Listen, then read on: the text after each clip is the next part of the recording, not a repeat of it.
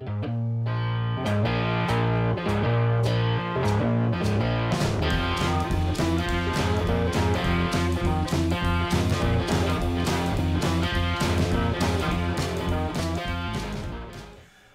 everybody, welcome back to Durbin's Bourbon. I'm Joe. And I'm Josh. Today's whiskey review.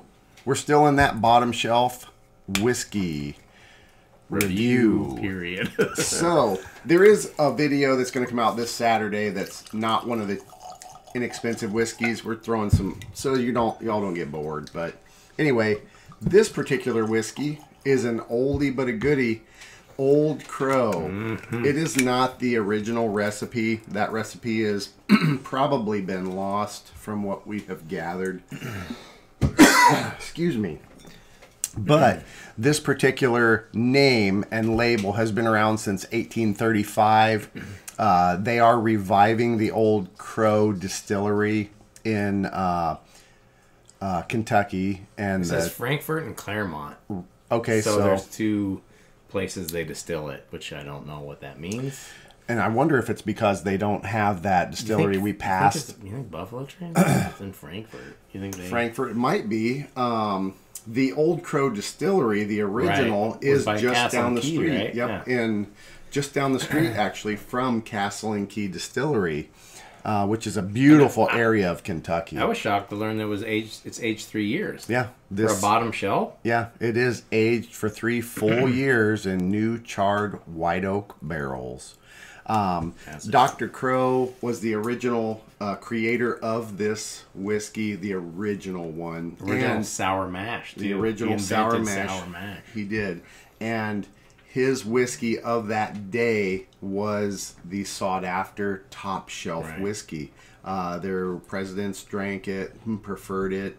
Uh, heads of state preferred it. It was the top whiskey of the day back You in the think like 1800s. with 1800s. things how things are marketed now, right? they could just slap that label with their history and make it like way more expensive, but it's still bottom shelf, which Right, we're about to find out why. I'm assuming, but probably. But wouldn't you think with that kind of story? yeah, at least have one that's eight years old or something, have, or ten years old, and make um, a good. Yeah, I don't know. Maybe they just like the you know medicinal. Old Crow. The nose Um, isn't bad. No, it's kind of a candy. Yeah, There's I'm not getting a whole lot of a- deep like char or anything like that. Obviously, it's only three years, but I have that sweet tart, yeah, some for sure. vanilla. I got a little Actually, tobacco. yeah. It actually has a very pleasant nose. Yeah. Um, And It's 80 proof, so it's going to be much lighter than your standard 90, 95 proof. oh, it is 80. Okay. Thank you. I did not tell you all that Yeah. yeah. Sometimes I read stuff. and retain it. Yeah. My list lot, whatever I said is gone, so You got to make room for more stuff. I know. I love information. I, I like the nose. it's got a pleasant nose. Yeah. I, it is. It's very candied, very sweet, tarty, powdered candy smell with some vanilla. There's some vanilla. Yeah. You can tell A it's little. a it's a nice bourbon. It's Yeah. just a it doesn't have that whiskey. weird new Green. young whiskey smell. Yeah, that green green oak, Yeah. green wood, sappy kind of note. It doesn't. No, it's not bad. Hmm, interested to see what it tastes like. You ready? I am ready. All right. All Cheers. right, cheers. Cheers, everybody. Cheers, everybody.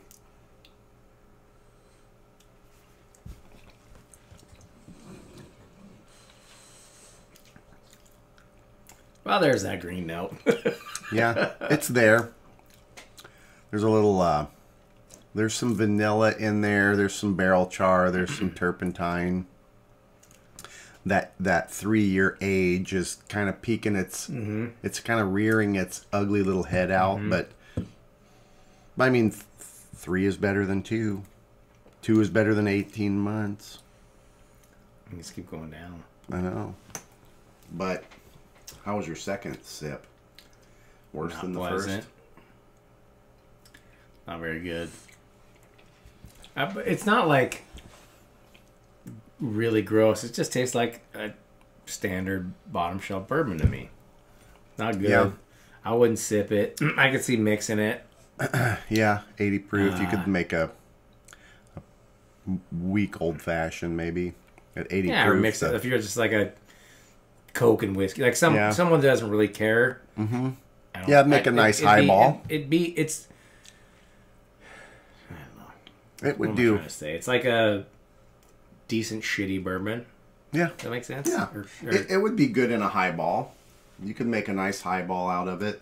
If you're a sweet tea drinker, you could put that in a sweet tea, and it'll it'll give that sweet tea a little bit more of a kick, and hide it just some tastes of that like young. a unaged bourbon, kind of. yeah. Not good. But I, I can't remember what it cost. Ten bucks maybe Mm-hmm. for the fifth. Mm-hmm. But it's not retchingly bad or anything. It's just. No, it's But it's, not something I would be like, yeah, this is good. You should try it. Yeah, it's not It's your something. typical what you think bottom shelf, kind of a well bourbon. Mm-hmm. You know, put it with other stuff. It wouldn't be bad. yeah, I wouldn't recommend it as a sipper by any means. It's comparable to Jim Beam White. Yeah, yeah, It's very much in that same Right. vein It's a little- of.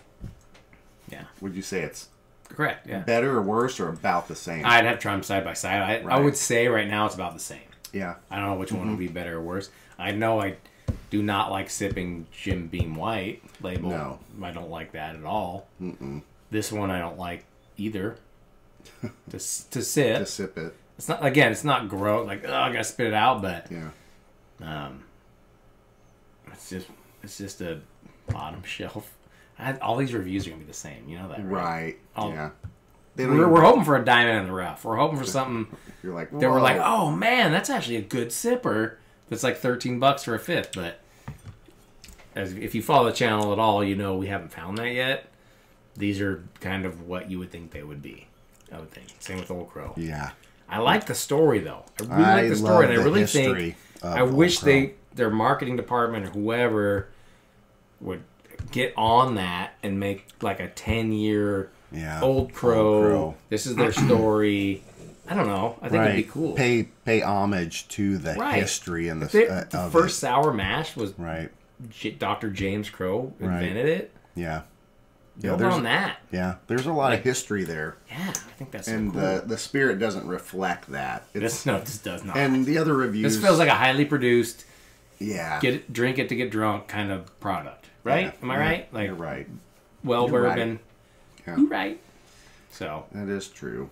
But for the price, for highballs or mixing or if you if you if you don't mind crappy bourbon, I guess, and it's decent, it's the price is right for what it is. I guess I could recommend it, but I would definitely not recommend it as a bourbon person sipping good bourbon. Like yeah. That's That was the dog. That was a dog. I hope that was caught pretty, that. That was pretty That's epic. gonna smell so bad. Um, bottom shelf bourbon, the price is equal to the quality. You get what you pay for. Correct. For sure. Yeah. Um, it'd be good in highballs. It'd be good for mixer, uh, for just that Right. kind of run of the mill parties. Um, that's what- really it- it is what it is. yeah, it is. I mean, that's really all it is. It's a shame. It has an amazing story, and the history is true. it goes all the way back. It's too bad the whiskey in the bottle doesn't match the story Correct. and the history of the label. And I think that's the saddest part for me personally, Right. because I'm a sucker and with all stories. the yeah, and with all the BS that you you buy into, we buy into, you're like, oh man, so and so, this is such an old, da, da, da, and it's some source whiskey, Right. but it's good because they know what they're Sure. doing. I wish they would do that with this. Yeah, as far as make a good whiskey with Yeah. that story. Yeah. Even if it was sourced, I think it would be right. good. It would be neat if the story Match and the dollar value was a 30 40 dollar bottle of bourbon Right. because the like an story eight year or something, like you know, like Right, wild turkey or 10. something. Like Absolutely. it's in that vein, you know. Mm-hmm. This isn't, but if it would be, it'd be Yeah. cool. I agree. Well, there you have it. It's another bottom shelf bourbon coming Yeah. at you. Really inexpensive, readily available. Not super good. Not the best. Um, you're getting exactly what you pay for, so use it accordingly. I agree. Yeah.